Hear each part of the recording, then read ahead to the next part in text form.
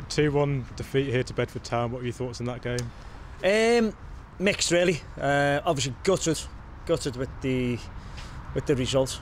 Um, I thought we done done well. To be honest with you, you know, playing against the league above, I thought we done well. Um, we done everything that we set out to do at, at the start.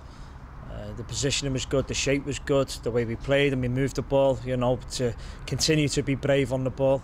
and pass it and try and play out from the back and trying to dominate possession, to actually build attacks and to create problems. And I felt we'd done that. I think I felt first 45 minutes we did.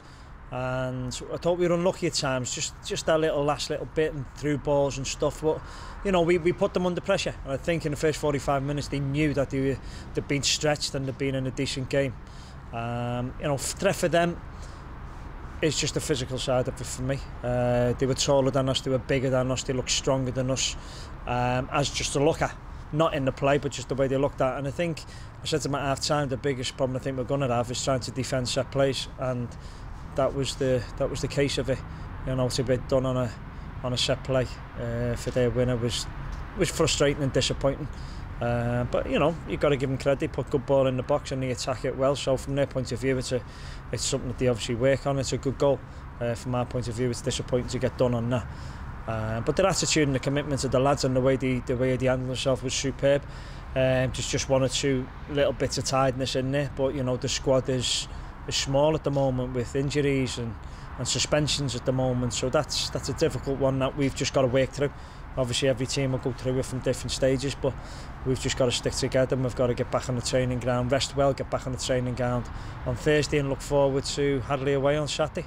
And he got the goal early on in the second half, uh, but they got the equaliser straight after, and you were not put to hold on after that. Yeah, you know, it was unfortunate. We, we got a good goal and we worked it well. Um, a great little finish by Gaz, so that was great for him and really pleased for the lad. Um, but yeah, we just it's games like that then you just want to um, keep hold of that lead just for 10 minutes, just to settle it down and get your rhythm back again. Because, you know, they're going to have a go. They're at home and they've been hurt and they've been dented in the pride. They're going to have a little go at you. And just, we just didn't hold on to it long enough. And that's always the problem, you know. You can see it straight away, their tails are up and they want to come and have another little go at you. Um, but I felt for Matty. Matty, at the time, should have stepped in and, and dealt with it and he stepped off and it gave the lad a little bit of an opportunity to get a strike away but you know Matty he's taking a whack first half his ankle he's struggling with his ankle and um, in a better position we might have rested them at half time taking them off and let them and let that heal but you know say we're down on uh, low on numbers and and we're down and we're, you know so it, it's a difficult one really but you know I can't knock at all the, their efforts and the commitments and the attitude the boys had Um, and they kept on playing right to the end. They were brave in possession, kept trying to get on it. I think they just had a little bit more strength about them and a little bit more fitness about them in the last 10, 15 minutes. I think we just faded a little bit. Um, but our positioning's key and we've got to learn quickly how important positioning on the pitch is to know so that we're getting good positions to get on the ball but if we lose possession of the ball we're in good positions then across the pitch where we can stop their attacks from generating any anything that can hurt us. Um, we were a little bit loose second half.